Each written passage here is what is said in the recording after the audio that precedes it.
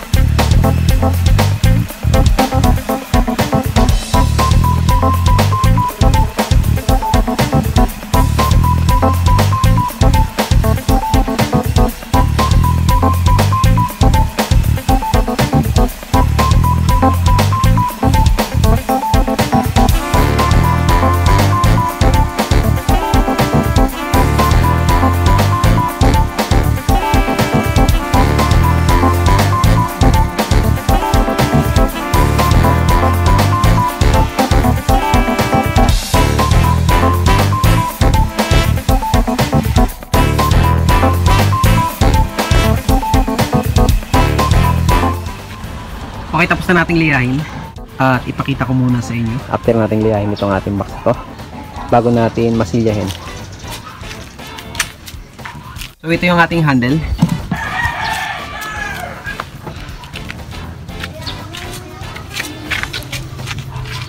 Okay lagyan natin ng takip. And then yung ating driver units para sa ating heater ayan. Para safe yung ating driver unit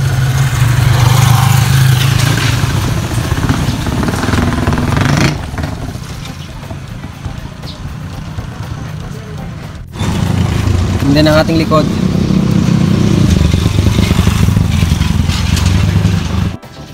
Okay, magtimpla na tayo ng ating pangmasilya at ito yung ating mga sangkap. Ang ating sangkap, semento.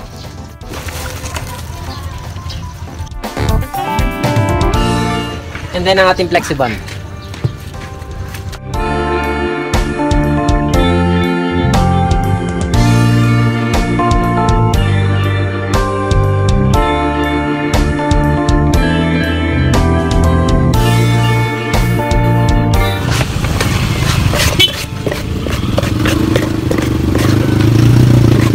Okay, so nakapag-mix na tayo ng ating pangmasilya.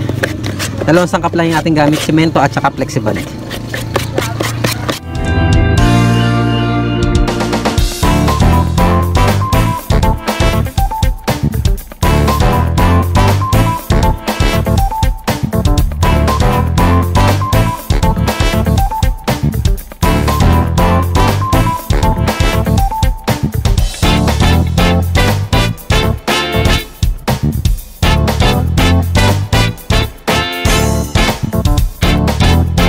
Yun na yung ating minasilya, ngayon naman islihahin natin.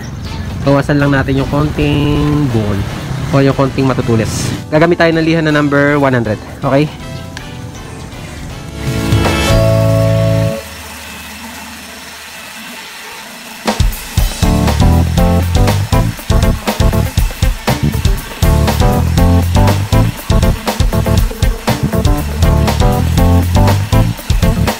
Okay, tapos na nating lihain. Ngayon naman is ang texture na natin.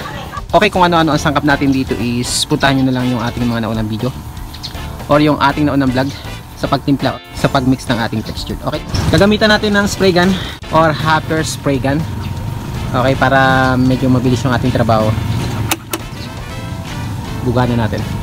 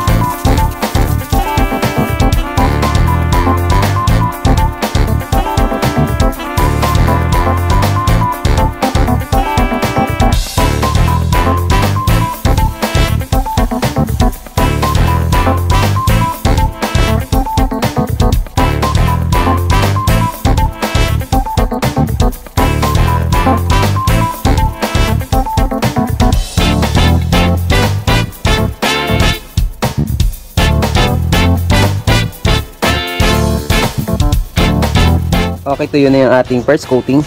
At ipakita ko muna sa inyo yung ating unang patong or second coating.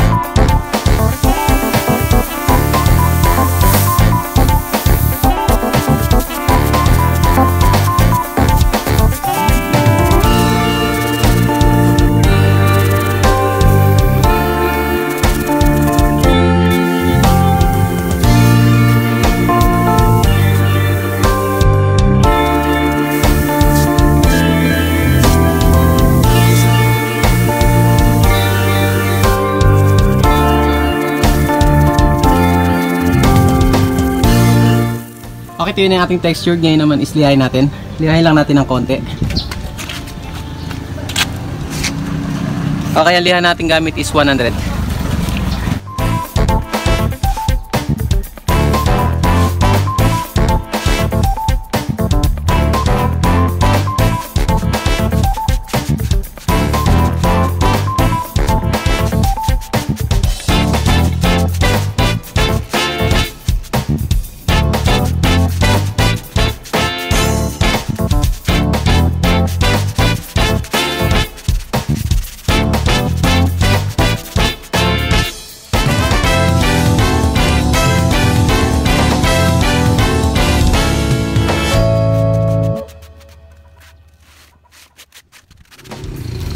Okay, bago natin pinturahan, pakita ko muna sa inyo yung ating cross coating after nating lihahin.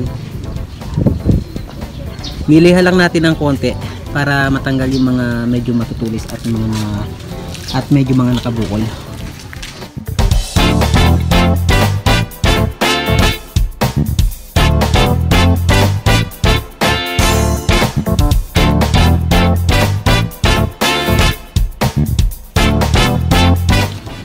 Okay ang ating pintura. Enamel well coat, kulay black po at and then at mimix natin yung ating painting natin. Okay. Pinturahan na natin.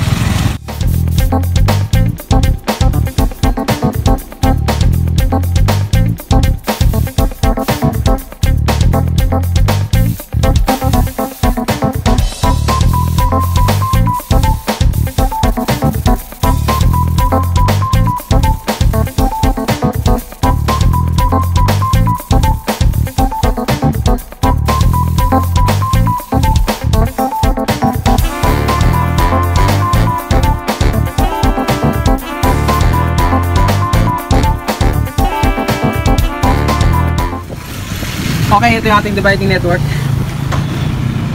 CN 3600 600 watts at 3 way 8 ohms. Crown brand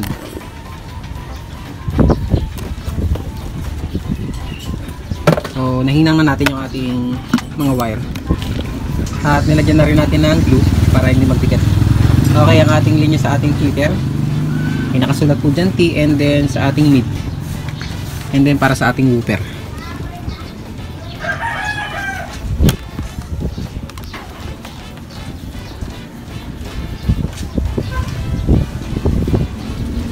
Okay, kabit na natin.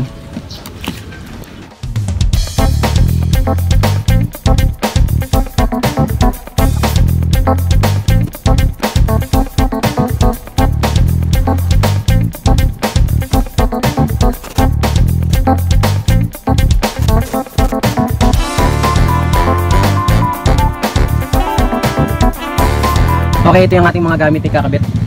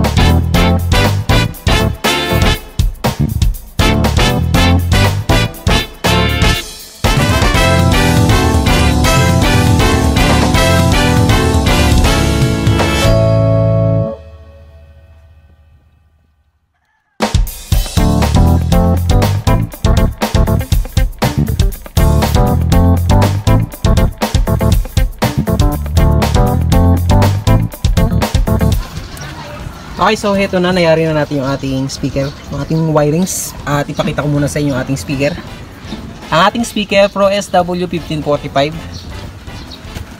300 to 450 watts. And Crown brand at dual impedance. Dual coil. Okay ang linya natin dito sa ating subwoofer. Size size 15 okay itong linya na to is pumunta sa ating dividing network and then itong linya na to is pumunta sa kabilang terminal. Okay positive nito. Pumunta sa positive ng ating kabilang terminal. Positive to positive and then negative to negative. Okay parallel connection. And then ang ating mid range crown brand at KW5 100 to 150 watts. 8 ohms. And then ang ating tweeter crown brand at HT104 150 watts. Okay wala na po tayong kinabit na capacitor. Diretso na sa ating dividing network. Pag may dividing network hindi na po tayo nagkakabit ng capacitor. Okay? Sarado na natin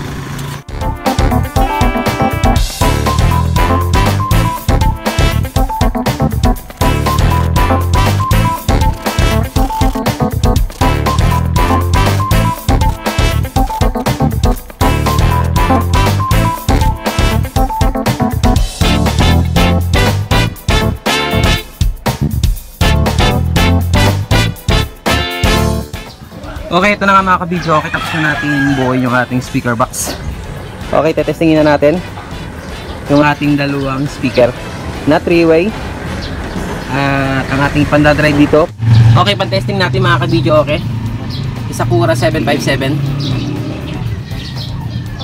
Okay, sound check natin.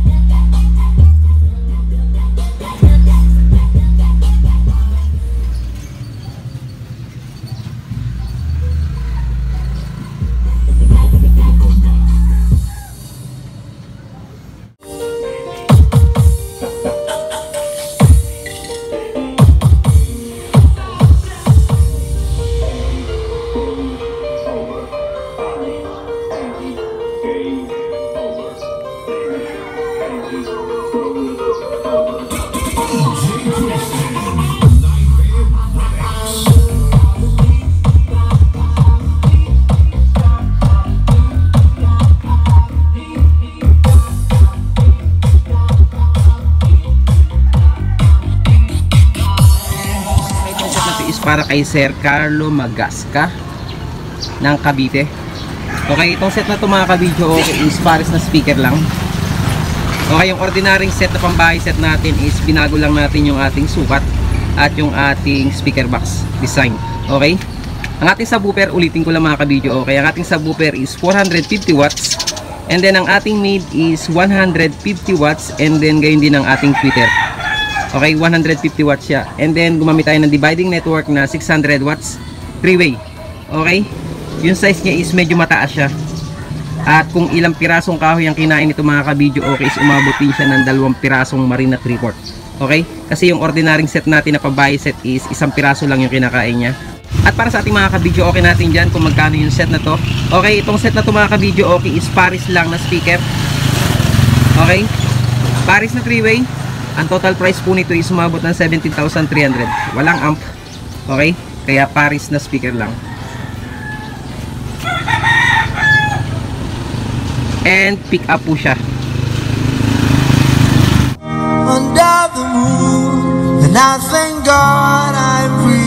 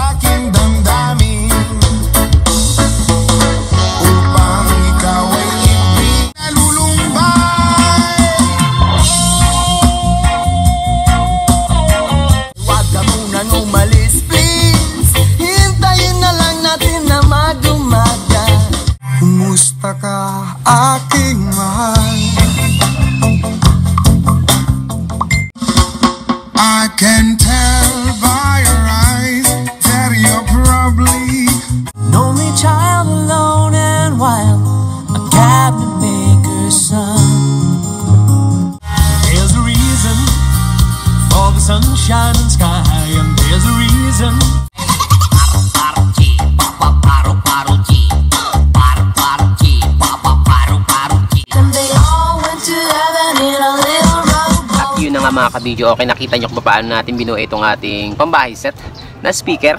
Itong set na to is para kay Sir Carlo Masagka.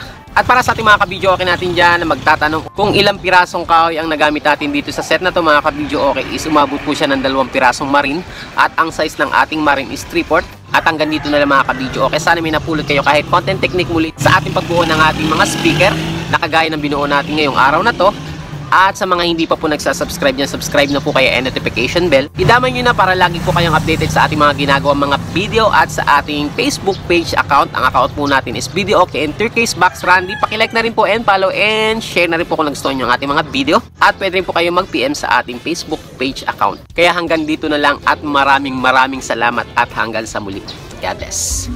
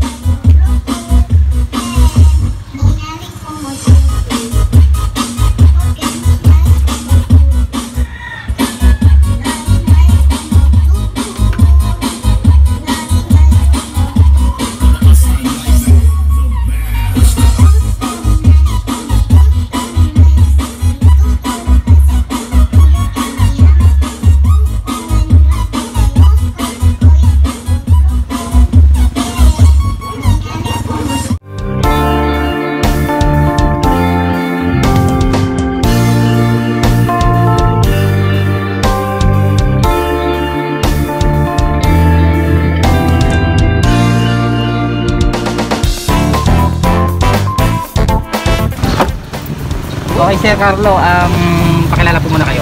Ah, Ako nga pala si Carlo, ah, galing Saudi. Ah, bali, ayos. ayos yung... Shout out, sir. Ah, shout na lang sa mga ano, taga Saudi. Ah, si Birds. Ayos kumuha ka na dito kay Randy. Panalo. Okay na, Sir. Salamat, Sir. Ingat, Sir. Thank you, thank you. Okay po, bye-bye. Thank you.